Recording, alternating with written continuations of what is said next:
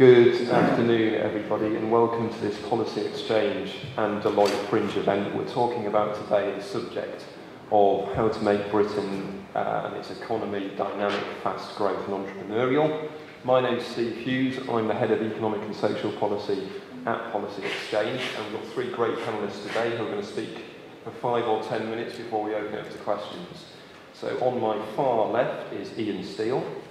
He is the senior partner for Scotland and Northern Ireland for Deloitte. He's based here in Glasgow uh, and he runs the corporate finance advisory business for Scotland and Northern Ireland as well. And he's also a fully elected member of the Deloitte's board. Uh, to my immediate left is Mike Welsh, who is the managing director of Black Circles, which is a tire, online tyre business. Um, he has got a string of awards for being a good entrepreneur, and he started up his first business when you were a teenager, is that right? 15. 15? Yeah. 15, from his parents' bedroom, with a grant from the Prince's Trust, uh, and a mobile phone, and his parents' house. Proper um, he now he set Black Circles in 2001, and that has now got a sales turnover of around 30 million pounds per annum. And to my right is Jeremy Browne MP, who is the MP for Taunton Deane and has been in Parliament since 2005. Over the course of the coalition, he has held two ministerial posts, one in the Foreign Commonwealth Office and one in the Home Office, and he's recently published a book called Race Plan, which is all about how Britain fits into the world and changing global economic order. And we're going to start with Jeremy, uh, Jeremy with five minutes. Uh, thank you. Good afternoon, everybody. Um, the question, how can we make Britain a dynamic, fast growth entrepreneurial economy? I think the first precondition for our party, for all of our politicians, for our country, is to realise it's necessary. I think a lot of the debate that's taking place in Britain uh, and across Europe is uh, introverted, introspective, risk averse.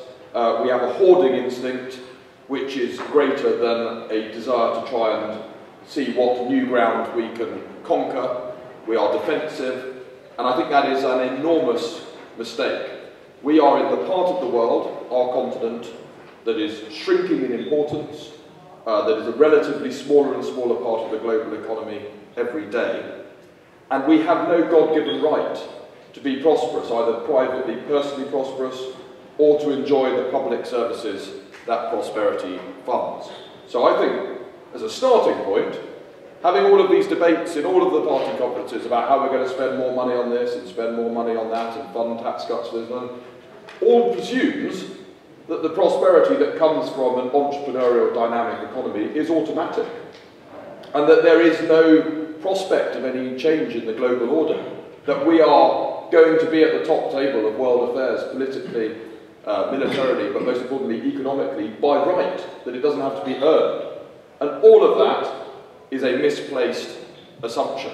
We have to earn that place, uh, it won't be given to us. So, in the small amount of time I have, let me suggest a few areas that I think we can uh, embrace to go about that, some of which there is an active role for government. I'm not uh, a politician who doesn't believe in government.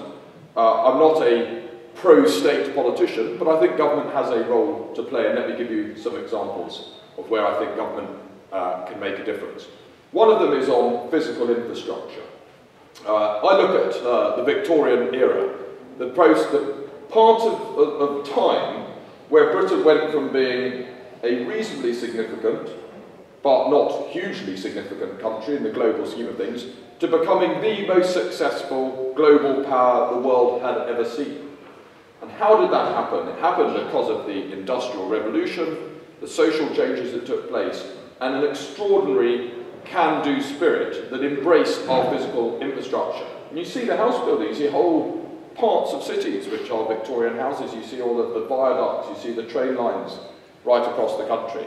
We have, in my view, lost that pioneering spirit. What is very striking if you go to China or you go to South Korea, many parts of the world where change is happening fastest, is you get that exhilarating sense of embracing new possibilities. Uh, and here, uh, I'm afraid we have, as I say, a more backward-looking instinct, and today's vote, the vote that took place half an hour ago on airports, is a policy I'm afraid our party now has, which is completely incompatible with reality. and completely incompatible with us being a successful country in a far more competitive world. The other area where government, I think, can play a significant role is to try and make sure that our people are equipped to succeed in a more competitive globalised era. We are internationally successful at the top level. We have some of the best universities in the world. There are some studies that say of the top 10 universities in the world, depends how you measure these things, but of the top 10 universities in the world, six are American and four are British.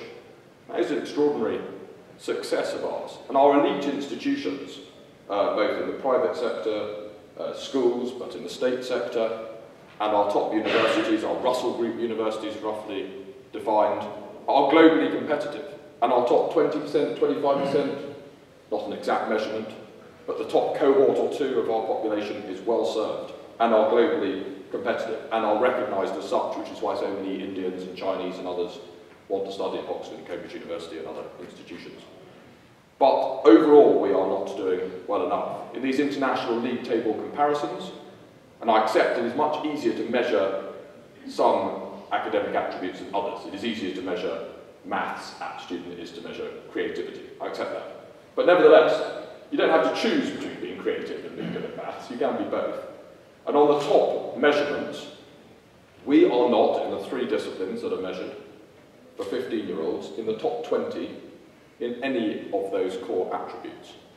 Whereas the new competition in Asia, South Korea, Japan, established economy, uh, Hong Kong, those dynamic parts, Singapore, those parts of Asia, are in the top 10 in all three attributes. We will not be a knowledge economy, in inverted commas, if the competition is more knowledgeable than us. So we have to raise our game dramatically in terms of our human capital. We don't have other advantages. China has advantage of sheer bulk, 1.4 billion people. We have less than 1% of the world's population. Saudi Arabia has the advantages of natural resources. We don't have anything like that level of natural resources. Panama has advantage of geographic location. That's what makes Panama an important country, more important than it otherwise would be. We don't have that advantage. The one advantage we have is creative inventive, opinion-forming people. But we have to be able to maximise our capacity to make it a whole team effort. We cannot rely on a well-educated elite bringing the rest of the population through. And let me do a couple of other small points before I sit down. I think our party, I talk a bit when I go to our fringe meetings about what I've called 360 degree liberalism. It's a pretty terrible phrase, but what I'm trying to capture is a concept which is I don't think we can afford as a party to just embrace some of the sort of facets of liberalism that we have traditionally felt most comfortable about. So, for example, a sort of uh, a benevolent, sort of non-intrusive, sort of social, non-judgmental liberalism about your lives. That's important, I believe in that. Everyone at Lib Dem conference believes in that. That's fine, but it's not taking us out of our comfort zone. I think we also need to embrace the types of liberalism that the party has not traditionally felt quite so comfortable about. So not just civil liberties and proportional representation, but the economic liberalism that is completely transforming the entire global order.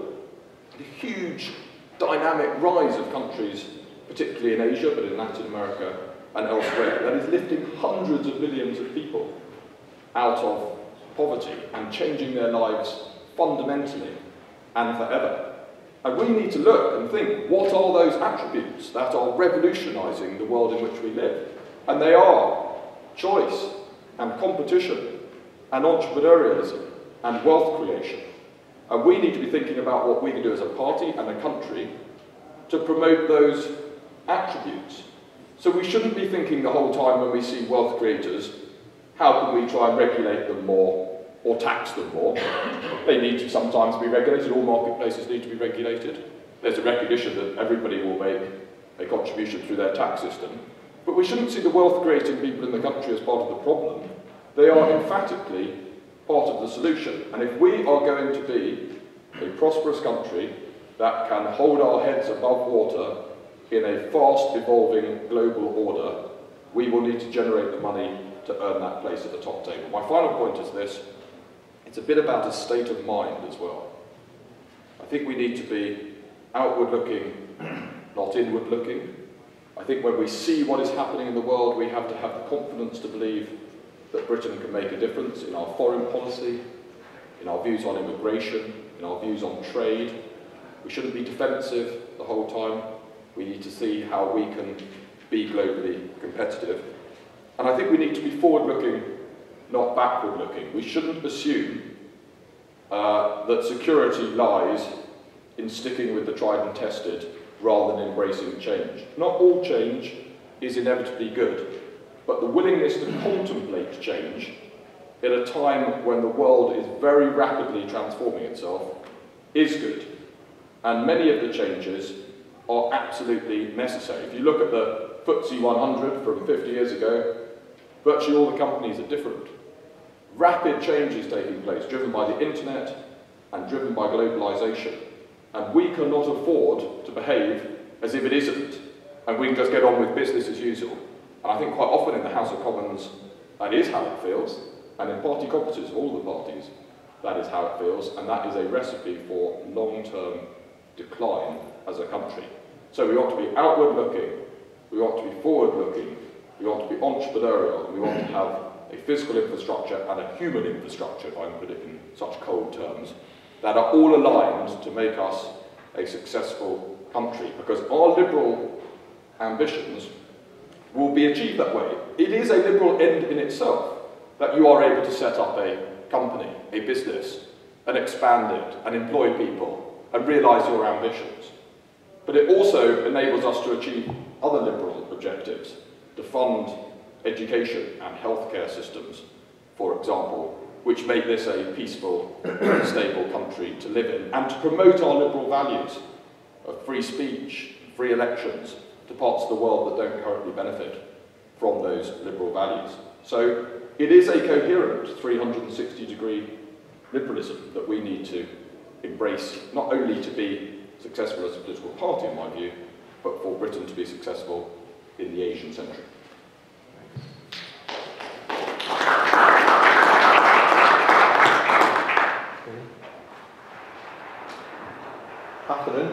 Just checking. Um, I think anybody here may have had this uh, bit of paper that suggests what we're going to try and cover. And I think in an hour there's absolutely no chance of us covering all of that. But um, maybe the Q&A can pick up specific points that people are interested in. Um, maybe my contribution at the start would be based on the fact that I am a corporate finance advisory partner. And what that means is that I, I advise my clients on doing something, so they either start up a business, raise money to grow their business, acquire a business, or sell a business. And when I'm looking at a business opportunity or a management team and decide whether or not to take them on as a client, um, very simply, the, the things that I would look at most are the quality of the management team, the sustainability of the market that they're trying to address, and the quality of the margin that they should earn. There's not a lot that outsiders can do about that, whatever, whether it's advisor or government or anyone else. But the things where you know maybe outsiders can help is that the point that was made a minute ago about attitude. Even if you have a good management team, even if you have a decent market, and even if you have an attractive margin, you need to be brave. We're lucky to have young Michael here, um, a brave and bold entrepreneur. There aren't very many of them. And I don't know, and I don't think anybody knows, um, how many there are out there that, given a little more of a leg up, would flourish. But the fact is that even you know, the brave and the bold, or potentially brave and bold, don't often have the right level of encouragement. They don't have the level of consistency in the environment around them, whether it's the general economic situation, funding, interest rates, and they don't have, therefore, predictability. And when you're a wee bit wary, most people who step into this void of step, setting up a business do so from an employed position. So you really need to feel as good as you possibly can, and those external factors are things that, that people like me and, and, and others can try and help with. The big picture, though, is better than it's been for a long time. The, the, we do a CFO survey that we do quarterly, and we first did it in 2007. And the appetite for risk-taking by business is just about now as high as it's ever been. And when you couple that with the fact that there is tons of money available to support people who decide to make these bold moves, there's tons of money on corporate um, balance sheets ready to be used in investment and growth or investment in acquisition. There's tons of private equity around to, to do the same, and bank funding is more available than it has been for some time. So our own revenues are up as a firm, and the corporate finance bit of the firm is where the revenues have gone up most. So that, it's far from doom and gloom out there. Things are looking better, and it's partly because some of those environmental factors have been nailed down a wee bit. People feel a bit more confident in that environment and prepared to take the risk. So these big companies have got a real appetite to invest, to, to recruit, to invest in uh, capital equipment and to acquire. So there's a lot going on. A couple of the questions that are particularly close to my heart that we've been asked to cover um, centre around funding. Forever and a day, and I've been doing this for way too long, there's always been something called a funding gap. And that funding gap is usually where the banks stop lending and it's, um, it, there's a gap between that and where the private equity is or, or where other sources of finance are. And it's a barrier to doing transactions, and even when you get money in that gap, it's really, really expensive. The problem is that the availability of funding can, can be cyclical. And the mistake that people make, most startups go bust. I think officially the figure is circa 80% of startups go bust. And if you remember Gary Player, who said, you know, every business needs to be lucky, is what I'm saying. He said, the more I practice, the luckier I get. People who go into this less than fully prepared are going to fail. And one of the problems that they, they take on is they sometimes take money for their business because it's available. And there's nothing more stupid than taking short-term funding for a medium-term business plan. And it's amazing how often people do it because it's there. If you're starting up a business or you're investing in a business, there's going to be a period of months, if not longer, where the, the investment you make takes time to produce um, revenue, profit and cash. And the most important one of them is the last one, is cash. If you have got yourself into a situation where you're repaying the money that you've obtained or paying high rates of interest on it, you're going to fail. And some of that stuff is, is, is apparently obvious. It's amazing how many people um, fail to recognise the different timeline between what they're having to generate and what they're having to repay. There's a few other points in some of these questions that I can come back to later. But any business that is, in my view, any, any business that's going to succeed in international markets has to first prove itself in domestic markets. It has to have a robust infrastructure, it has to have the management team, and it has to have the capacity in more ways than one to take on these new cultures, these new taxes, these new imports, regulations or whatever. So you need to be ready to do it, but I can't think of a business that's going to achieve its potential without going into areas of the world where growth rates are higher than our own. And now, the interesting guy. Oh, thanks. um, thanks, Ian. Uh, probably best for me to start at the beginning. Um, so I started a business tyre business in Liverpool in 98. Um, a mail order tyre business. I was a tyre fitter. Uh, before that, um, didn't do very well. I mean, I'm completely cliche. Didn't do very well in school. Had to get a job, and that's kind of what I, I am. Could you turn the mic yeah. towards yourself? Yeah. Is that better? Oh, there we go. Much better. Maybe it was better before. so, so, so I ended up uh, running a, a mail order tyre business. Um, thinking about would I do it again, knowing now what I know, um, the answer I think will probably be no. Um, and the reason for that is I kind of didn't know the hurdles and obstacles that were ahead of me. Um, and one of the big issues, I think, in early stage business is that there isn't really an appetite for, to fund, to support. You know, there is a gap right at the beginning, actually. Um, and it's only once you've proven yourself, you've proven the concept, you've got sustainable revenues, that the banks, that the you know, potential investors all of a sudden are quite interested. Um, so I kind of found myself trying to establish a business in Liverpool There was no real local enterprise support. Um, there was Prince's Trust, which I, I, um, I, who I worked with, who were fantastic, um, but real low-level kind of cash available, but, but you know really very welcome in the early days. I was approached by QuickFit, and I effectively sold a tiny business to QuickFit um, because I didn't have any other option, and I kind of felt that you know there's a lot of more learning to be done. Then found myself in Edinburgh um, running the online business for QuickFit. Um, learned a lot about the, the industry for Book Quick that I left and started again. Uh, same thing, but up here. Same challenges, um, first protocol was local enterprise council and Scottish enterprise, uh, just hands down, um, a much better run um, funding source in terms of local enterprise than you know anything that I could uh, lay my hands on in the northwest of England. Um, I think you know that really for me was the you know that was the catalyst. It was the ability to have some office space for free. It was a, you know to have a computer funded for free, to have you know a, a little bit of a um, an opportunity to kind of get your feet under the table and get the, the business moving.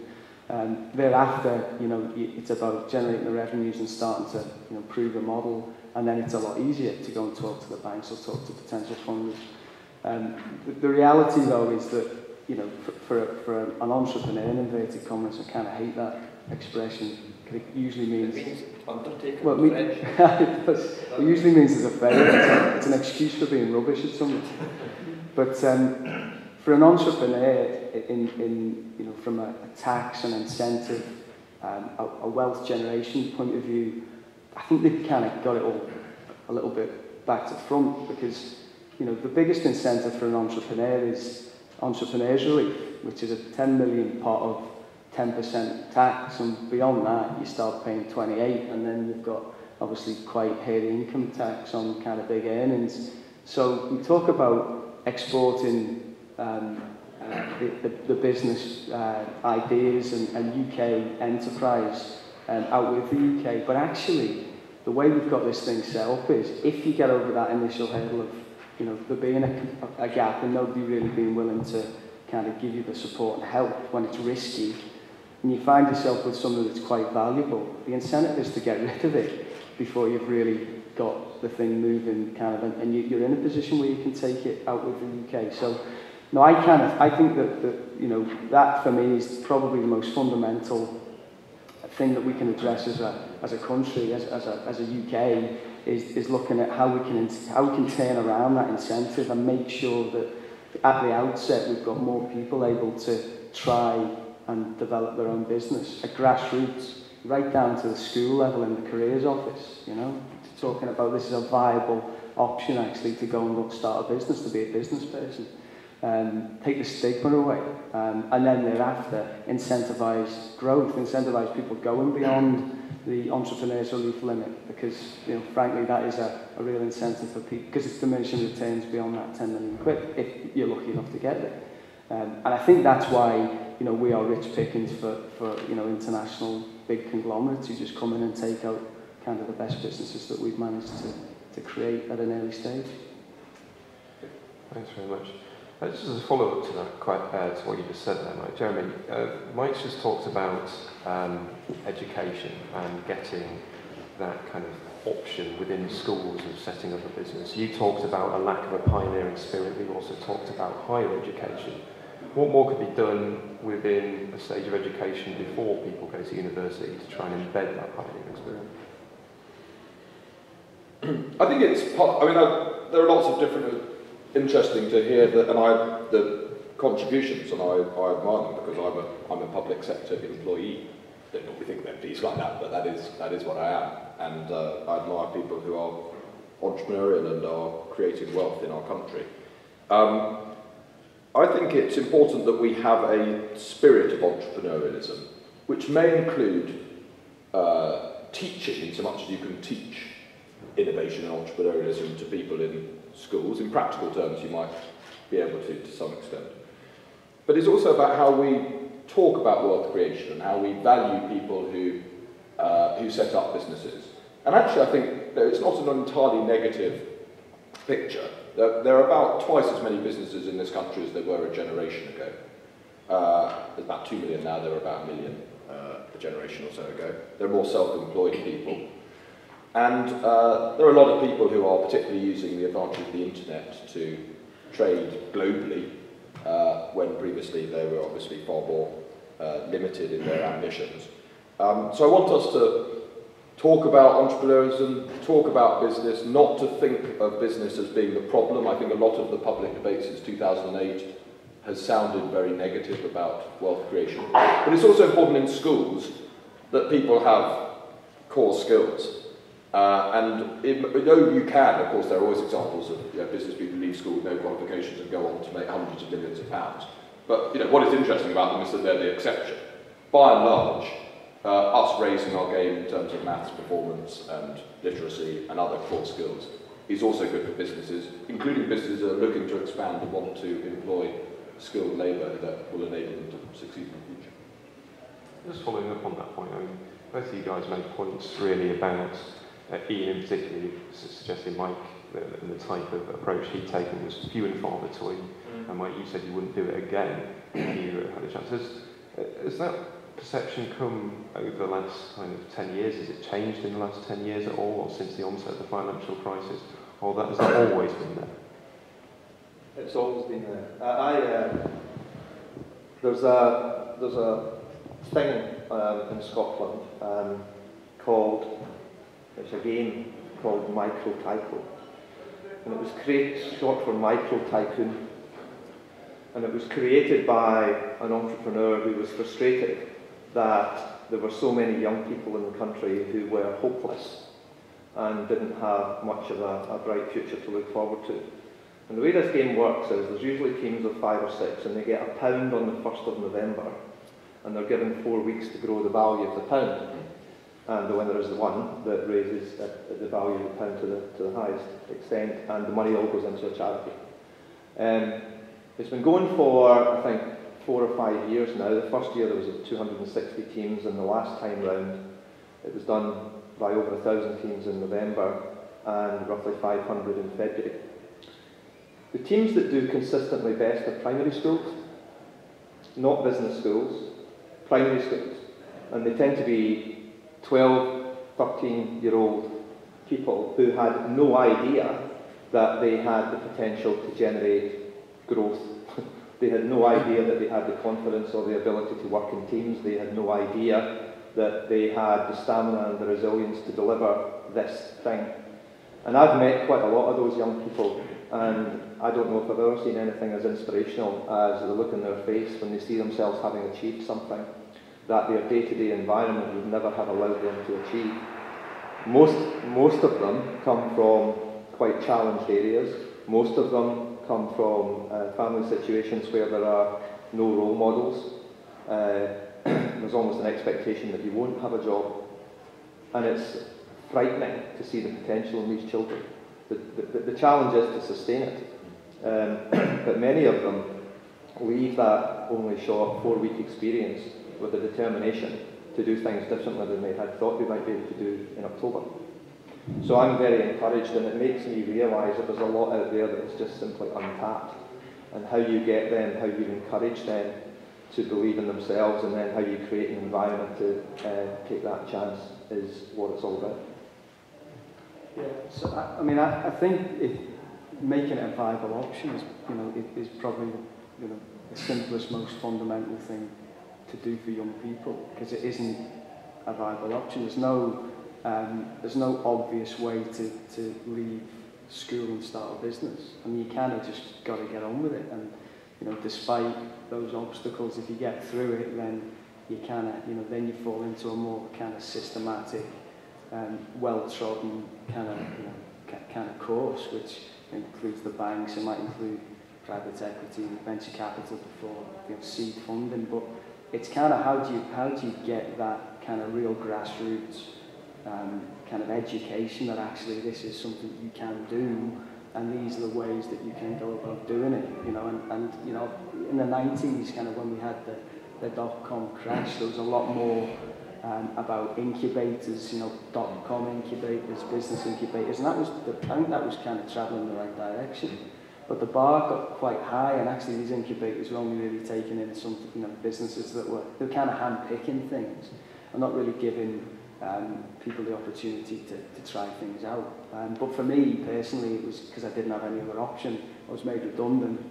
My family wouldn't let me collect the dole, um, and you know I had to kind of get off my backside and go and do something. And that's kind of why I did it. It wasn't really because I had any particular ambition to be a business person. It was because I didn't have, really have any other options. But um, it's that for me. It's that kind of it's bridging that period of exit school kind of into industry. You know, making it a bit more of a of a formed course for people to, to kind of engage with. So we'll open it up to questions. Uh, we'll take one at a time. Uh, we don't have a roving mic, unfortunately, so if you could say where you're from and loudly, then that'd be appreciated. Um, we'll start with this gentleman here, who's no, the one behind you, who had his hand up first. Yeah. Uh, thanks. Uh, Tom Fox from Unlimited. We support social entrepreneurs. It's really great to hear the comments that have just come across. Um, in terms of uh, building on, on those two points, um, we found we, we do a lot of work uh, with schools, with um, FE colleges, with universities, as well as directly with social entrepreneurs. And, and the critical thing for us is learning by doing. So I think this kind of taster experience at a young age is absolutely critical. Um, we are concerned that actually to embed that's quite difficult. You know, everyone talks about curriculum being already too packed. Um, we've got to find a way to actually embed uh, entrepreneurial taster experiences uh, throughout education. It's also about, as you said, Mike, roots on. So one thing that we've been floating, uh, which we're working on now with a group of employers, is an idea of a, an apprenticeship for social entrepreneurs, but equally that could apply to entrepreneurs in general. Uh, interested in your thoughts on that. And it's also about engaging people on what matters to them. So um, data shows that, that about 25% of young people who intend to start a business would choose to start a social enterprise. So for them, it may not be about making loads of money, it's actually about making a difference. Um, and you know, that, that has a, an implication for how we present this. And it also has an implication, Jeremy's point about you know, how do we present entrepreneurship. This isn't just about making money, this is actually about making a difference in the world. Okay. Who'd like to start there? Uh, right, okay. Um, Deloitte has this uh, program called Social Innovation Pioneers, and every year we take in about 30 companies who are social businesses and try and help them in one way, shape, or form, such that they, uh, they get to where they want to be a little more quickly. Um, so I'm, I'm involved in that. There's, I think there's two or three in Scotland this year. Um, the, going back to that example I gave you about this, this game, I mean, just in context, these, there was four, it was four 12-year-old girls from a school in North Lanarkshire took their pound to £4,300 in, in a month. That's amazing. And they didn't cheat, they didn't gamble. you know, this was all thinking out the box, and um, they amazed themselves and everyone around them. And the contagion of that, you know, the fact that all of their peer group, all their class, and the class above them and the class below them, was seeing this energy that hadn't been there before, I think has persisted. And uh, the teachers would tell you that the, the change that that brought over the school has never been seen before or since. And you're right, I mean, there are a number of people who set up businesses for different reasons.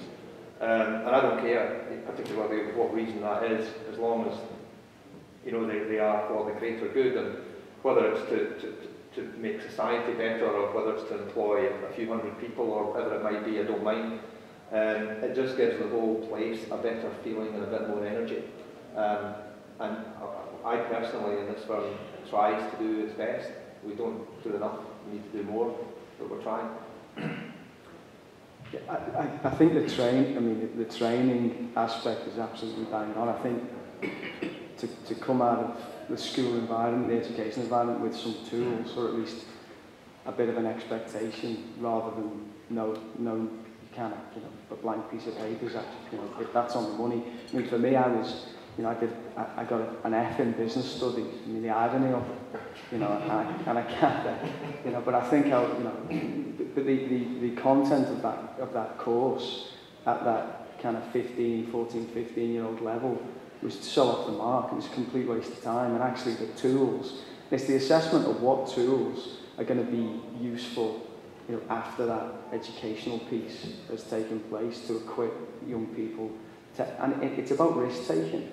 Because actually, the more you know, the less risky things seem, and the, the probably less risky they are. And you know, the, the few that, that kind of embark on a, on a business career with no knowledge, it's, that's a big risk. And the reason I said I wouldn't do it again now is because I've got some responsibilities now. You know, kind of, as life goes on, you acquire responsibilities, which makes you more risk averse, which means that you, kind of, you couldn't go six months without paying a salary You couldn't kind of hide in the cupboard when the, the rent man come, you know, kind of came knocking and you kind of all these various blags just to get through. I mean, that stuff's just, you know, what we need to do is make it easier. And I think, I think incentives in taxation at the early stage rather than you know just the latter stage. I mean, it's about making creating an environment from a, as I say, from a taxation point of view, from an education point of view, from a local government point of view, if we're really serious about developing enterprise because otherwise it's kind of just a load of points of view and not really much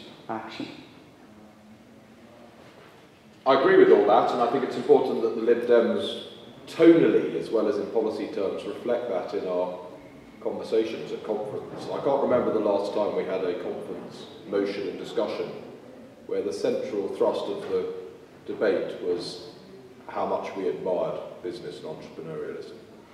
And uh, I think we'd be well advised to do that more. I just wanted to make a, a, a sort of separate point, which is I, I laud social enterprises, social businesses, uh, I think they're really exciting. But I don't want people to think that conventional businesses don't have a social function. And if you take, um, as an example, Dyson, great, brilliant British business, outsourced the production to Malaysia, I think mainly, but still employ a large number of people in this country. I mean, they are a conventional business. I don't think they, they claim to be a social business as such. It seems to me they serve three important social functions. One is they employ large numbers of people. Uh, secondly, they pay large amounts of tax, which funds healthcare and education and everything else that is valued. And thirdly, they make better vacuum cleaners that existed before they invented them, which is an obvious social function for anybody who wants to have a cleaner carpet. And um, seems to me is the point I'm making is that I wouldn't have two categories of businesses, the quote social businesses and the sort of capitalist businesses, which we have to sort of tolerate. Actually, I think businesses, by generating wealth and improving the services that people have and improving the number of choices that people have, play a valuable social function in themselves. Okay, this gentleman here, please. Yeah, um, Michael Taylor, former venture capital manager. Um, I, am not a, a, big fan of uh, these uh, businesses where you um, try to get people to sell things and uh, get them to get people to sell things and so on. They used to be called um, pyramid, but uh, those are illegal. But one of the things that they said, were, and, and that's what I agree with, we're talking about building an entrepreneurial society. If you fail, fine, next. Don't worry about it, just go on and do the next thing. That's the first thing. Second thing is, the way the British treat entrepreneurs is appalling. If you're an American small business and you're successful, your friends, your neighbours say, that's great, how did you do it? In Britain, they say, bloody hell, you must have ripped somebody off. And I think, you know, that is an attitude that we really do need to change. The final point I wanted to make was that um, I, one of the things I did when I was a venture capitalist was to, to run a, a, pro bono uh, um, Prince's Youth Business Trust follow-on fund where we went to see people who've got money with the Prince's Youth Business Trust to offer them venture capital to carry on the business. And that sort of thing, we're not doing enough of. Yeah. We need to, I mean, venture capitalists are really keen, and I think one of the troubles is people who start business don't really get the money. But there are other people out there. Thanks. Okay. So, on that question, where has this attitude come from? If we have a negative attitude towards business or not as a positive attitude towards business as, say, in the US, I mean, we're the sixth largest economy in the world, got lots of businesses. I used to work for a British representative organisation. There was a lot of entrepreneurial spirit within them, but uh, there's was a lot of negativity about the attitude towards British businesses.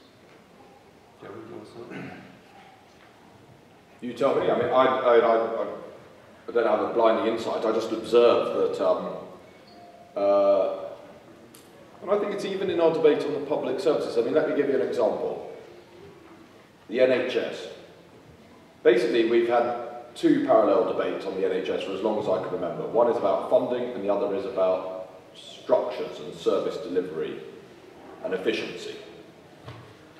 and how we can try and make it get more bang for our bucks, essentially.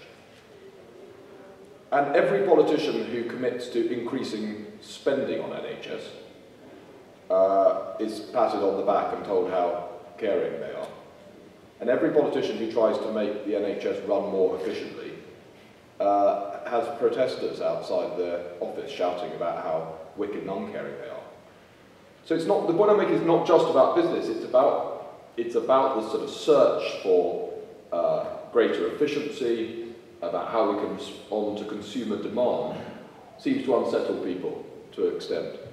And I think that that is a mistake. We shouldn't assume that a sort of mon monolithic, state-run, uh, sort of monocultural service delivery model uh, is the ideal.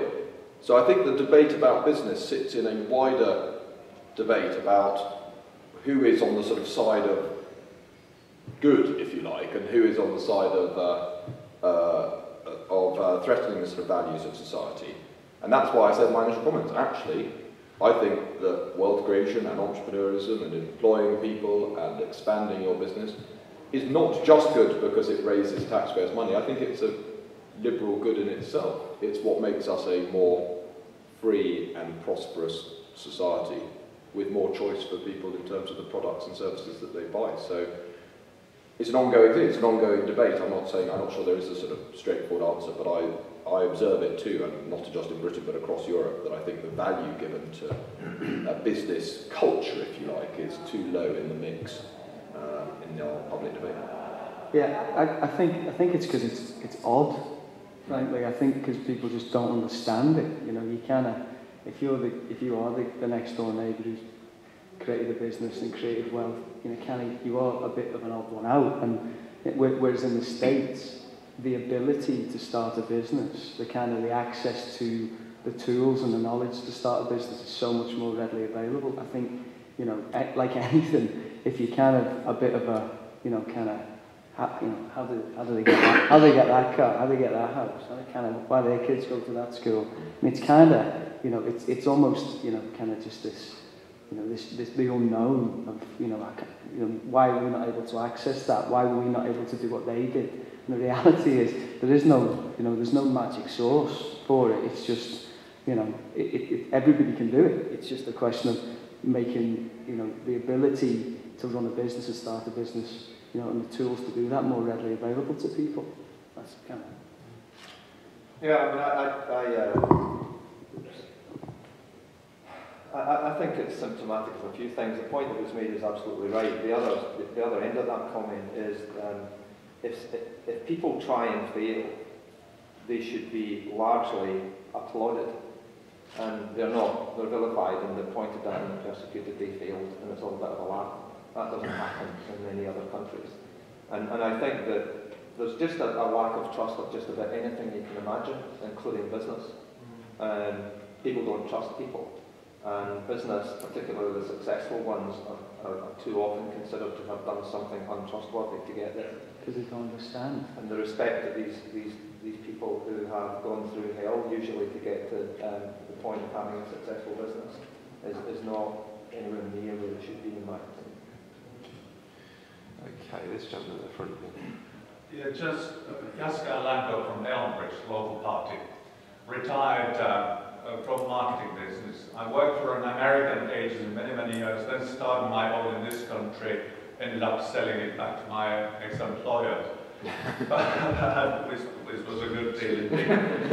so I've seen it from both sides, but can, can I go into perhaps some of the social attitudes behind this hatred of business or distrust of business?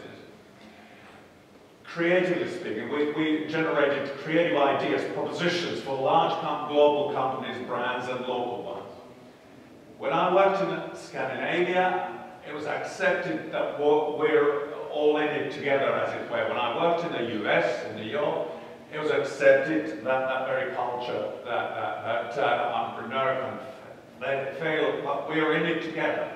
When I came to these shores, even your youngest creative team in the market, marketing agency, when they were putting propositions forward as potential campaigns, were always built on the concept of conflict, being suspicious of management, always wondering what is behind their thinking. And let's call them bosses and let's create a divide between us and them. So I felt that even these young kids, intelligent kids from Oxbridge, whom, whom we hired as, as creatives, they were waging a class war 100 years after.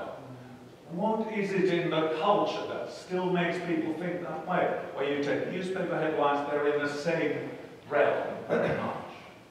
Um, okay, who wants to go first on Well, that? Blimey, I, I just sell tyres, thank you. well, one of the things that's happened in recent times is lots and lots of media coverage of big businesses where management has been rewarded completely disproportionately to performance.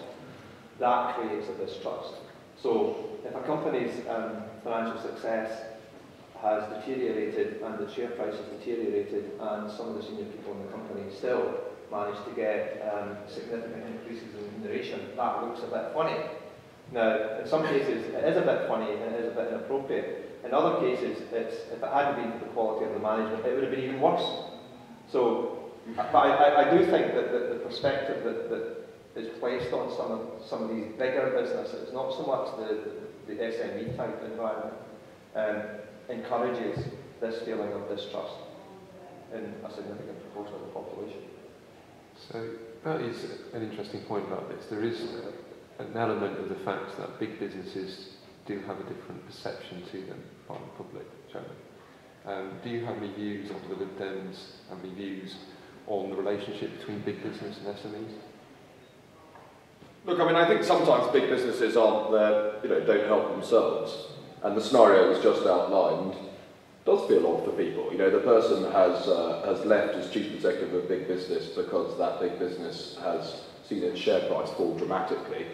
And to help him on his way, he's given £500,000. Well, you know, a lot of people might think, well, if I didn't do very well in my job, I'm not sure I would be given 500 but I would say that person job probably had less responsibility, but there is nevertheless sometimes a feeling that the normal rules of gravity don't seem to apply uh, in some of the high levels of business, and some of the remuneration committees feel a little bit, to me, like lots of people who earn a lot of money sitting around thinking whether one of their peers should earn the same amount of money as they do.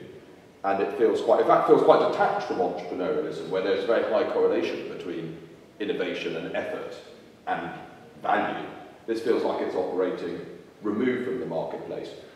But, quite often say to people, and I think there's some social attitudes, particularly among younger people, changing in this regard. You know, maybe people's attitudes towards Apple, for example, very successful company, but not necessarily a vilified business, in some ways quite an admired business by younger people, particularly. The successful businesses are only successful because customers give them their custom.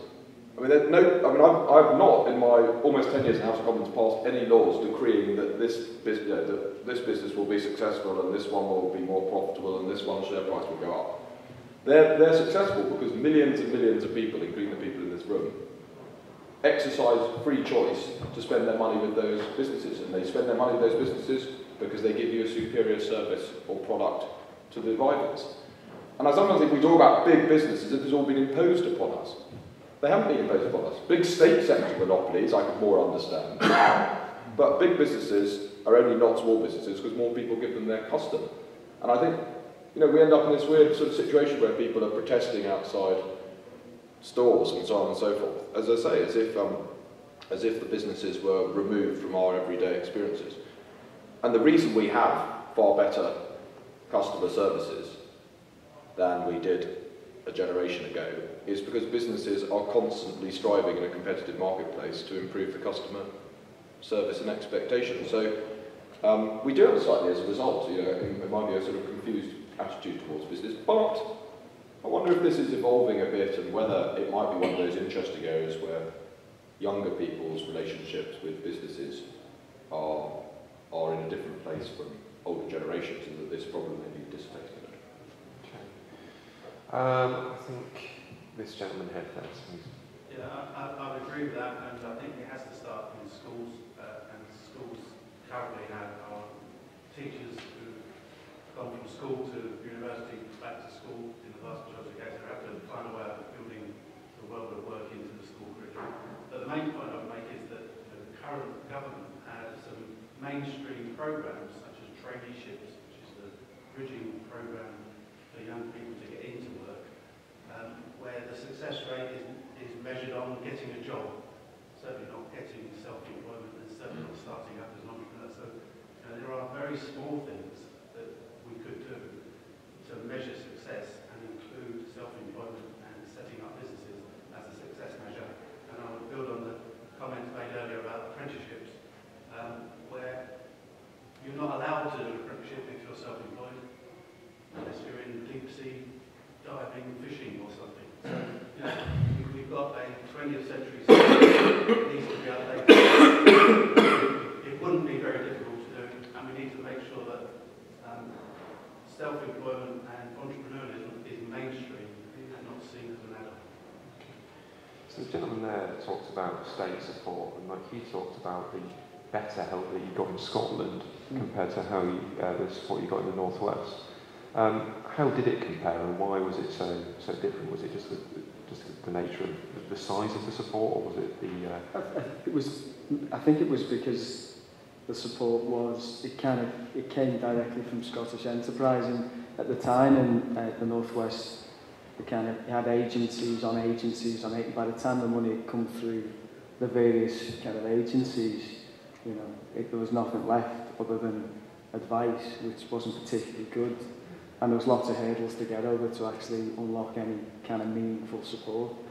So for me, I mean, what was what was really good about Scottish Enterprise was that it was you kind of you going straight to the uh, to the source, you know, and there was there was no kind of convoluted um, route for that support to kind of get through to get to, to, to the businesses. So so for me, Scottish Enterprise was a lot better geared for uh, for, for for new business. Mm. And Ian, on that note, I mean, you talked about financing and the funding gap. Uh, the government or coalition and, uh, and the previous government have introduced numerous schemes to try and fill that funding gap, as have we have tried to do this for decades, really. Yeah. What more could they do to fill that funding gap? Um, th- th- there's, there's, a there's a distinction to be made between providing money for businesses that want it and providing money for businesses that deserve it. And um, even if you have, I mean, most recent kind of initiative is the Business Growth Fund, um, where the banks all got together and put um, a few hundred million um, in a pot to help uh, young growing businesses. And that, for those of us who are old enough and remember something called 3i, that might evolve into something like 3i was, where you know you could invest anything from quarter of a million up to 10 or 20 million. There isn't a lot around that has the capacity to do that just now, so that business growth fund, I think, is filling a bit of that gap. I, I'm, I'm quite I mean, I, I do believe there's a gap because I know that some businesses, which usually are in the, I don't know, the two to two to ten or two to eight million pound um, funding requirement space, are the ones who struggle most.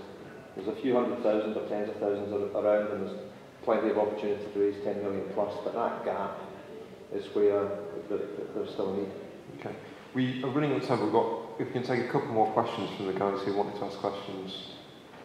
Oh, there's three, so I'll take all three and then we'll finish up. So starting with you, Ben Hayes. Hi, uh, I'm Jules Monsalve from Diageo, so one of the big businesses that you, know, you were talking about earlier. Just going back to that earlier point, um, you know, I think the issue in, you know, if you look at I don't know the exact figures, but the way people perceive SMEs versus big business, you know, there is definitely a discrepancy, and uh, generally people small SMEs, and that's associated with you know youthful entrepreneurialism like you've described, and that's seen as good. And I think I guess it's a comment as, as much as a question, but interested to hear your view on, you know, what, what where the gap is. I mean, my view, working for one of those big businesses, is about communicating your role with small businesses. You know, Diageo, we with well over 1,500 SMEs and small businesses across the supply chain, all the people who are you know, bottling the products and distributing it. And you know, we don't live, live in separate uh, existences. So I think part of it is big businesses having a, a better way of communicating the sort of socio-economic role they play with those smaller businesses and also helping them through funding and you know, expertise in those mechanisms. Okay, and at the back there. Um, yeah, my name's Peter Small. I work for uh, Francis Clark Badger County firm. And our biggest growth in clients is from self-employed entrepreneurs. Um, and I wanted to get the panel, especially Jeremy's view on, how, on what Liberal Democrats are going to do about self-employment. You know, we now see one seventh of our workforce in self-employment. Before long, it's going to overtake public sector workers. Uh, and at the moment, we seem to group these people. We group the self-employed lawyer the self-employed cleaner. Uh, I have issues there, the cleaner being self-employed. Uh, in the construction industry, uh, you get, we're being told that all these people are falsely self-employed, but they've had their own tax scheme that's worked perfectly for years. So I want to know what the Liberal Democrats are going to do about self-employment, uh, because actually self-employment needs to support entrepreneurs at the moment. I don't think any party has really got a grip of doing that. Okay, finally at the back now. I'm Rochelle, I'm looking at KPMG. Um, I wondered to what extent the panel think that part of the small businesses is not so much a lack of availability of finance, but more non-readiness of finance. So to the extent to which, say, an entrepreneur with a good and viable idea isn't in a position to pull together a coherent business plan, get get their insurance lenders to persuade them to start up a fund, and how far go for potentially involve the government in providing the training to help to do that. Excellent. Okay, so we'll take one of those per panel member. Jeremy, if you want to do the self-employment, perhaps first. Look, there is a big growth in self-employment, and um, if you listen to Ed Miliband, uh, that's a big problem because he regards these as um, uh, insecure, zero hours contract jobs. And his assumption is that everybody who's self-employed, his underlying assumption is that self-employed people all really want to work for the public sector, but haven't been able to find a suitable public sector job for the time being. And I just don't accept uh, his analysis. I accept that there are people who are self-employed who might want to get a fantastically well-paid job with a big international corporation, and I accept there are some people self-employed who don't earn very much money, but there are a lot of people who are self-employed who are generating new ideas and a more fluid, flexible level of service and goods provision than would have been the case with smaller number of uh, big businesses uh, supplying the market instead. So I'm an enthusiast for self-employment. In a way, that is, you know, that is the micro business. Uh, and the self-employed person in time may take on, uh, take a big leap of taking on a person and then uh, expand from that point. I think the government can help. Clearly, a self-employed person or very small business has capacity issues around accountancy, around expertise. It's very hard for a very small business to uh, export because they can't afford to employ somebody to advise them uh, on exporting. So I think there are roles that government can do to help that. Uh, but I also think the government needs to give people space to breathe as well and you know, trying to make sure that um, uh, there isn't excessive regulation on very small businesses, uh, uh, tax thresholds being increased for people on lower pay. I think there's a role as well for Liberals to, as I say, not just think about how government can intervene more, but also how government can intervene less. And Mike, do you want to talk about, presumably you've been part of supply chains and worked with bigger businesses than yourself. Uh, do you want to respond to this gentleman's point, though? Yeah, yeah. So I think what, what we see um, working with some big PLC partners um, is, is the difficulty for them in not squeezing every last penny out of their small business or medium-sized business partner. Um, you know, when they've got a share price to maintain and a profit level, and you know their acquisition cost is everything. Um, it means that the, there's a bit of a disincentive for small, medium businesses actually to engage big businesses, in, in as much as there's kind of an all eggs in one basket fear. Um, and the, you know, the reality is that there is no mechanism to, to protect about, you know, around that risk of, frankly, being squeezed, being the little guy, being trampled all over. So I think for big business, there's a, there's kind of a moral responsibility really to, to, to work with, because the, the corporate social responsibility objectives of all big PLCs will be to develop and, and, you know, and maintain a relationship with small, smaller partners. In, in practice, that sometimes doesn't happen. So I think there's a, there's a job to be done there to encourage and develop partnerships. One thing I'll say, which I find quite, quite humorous, um, is that you, when, you, when you decide to, to, to, to start a business and become self-employed, yeah, some of the kind of the, the um, the things that you rely on in life, like a car loan, like car insurance, like a mortgage, some of these things stop becoming available to you.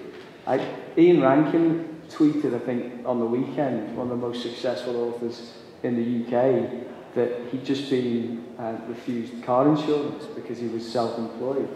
And the, the, the, apparently he was in a risky trade, and he kind of said, I'm feeling a bit risky, I'm feeling a bit, kind of...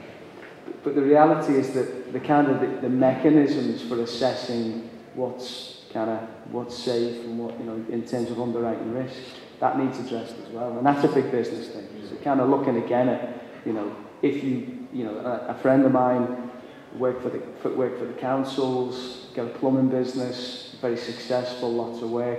Started his own business, has a book full of customers, um, you know, can't get a mortgage. You know? It's going to take him three years to build up the credibility to get a mortgage. If he'd have stayed in his old job working for Scottish Power, he'd have had the mortgages after in a heartbeat.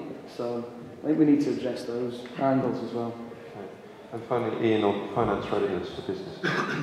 Sorry, readiness. Yeah, I mean, I, I, I'm quite old and I remember the Glasgow Development Agency and things like that, and I, I, I formed a view at that time that if, um, if, if public bodies think it's a good thing to be a source of finance for young businesses, they're probably right. But I think that in answer to the lady's point, some of that money would be better spent making sure that they are ready for the money and in fact deserve the money. Um, so if you put a few tens of thousands of pounds into enabling a management team to either best present its case or challenge what they're presenting such that actually there may or may not be flaws in it, then I think that money is better spent than giving them a few tens of thousands of pounds. So I, I, I think that many, many young businesses, many many entrepreneurs get stuck because they don't really understand what it is that the sources of finance and indeed sometimes their customers are looking for before they decide to invest or buy. Okay, we're out of time there. Um, thanks very much all for coming. If we could just thank the panelists in the usual way.